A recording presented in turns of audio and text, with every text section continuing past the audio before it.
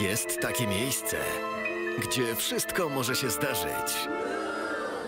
Ale przede wszystkim, gdzie wszystko jest zabawą. Wakacyjna niespodzianka.